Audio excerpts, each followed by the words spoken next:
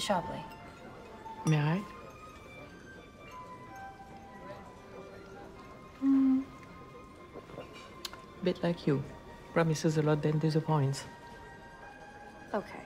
I deserve better! Oh my god. I'm so sorry. You can't do this to me.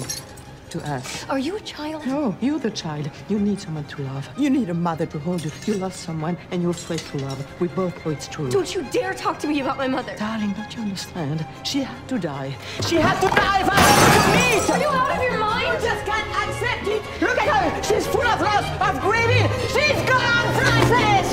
Just accept it! It's called moving!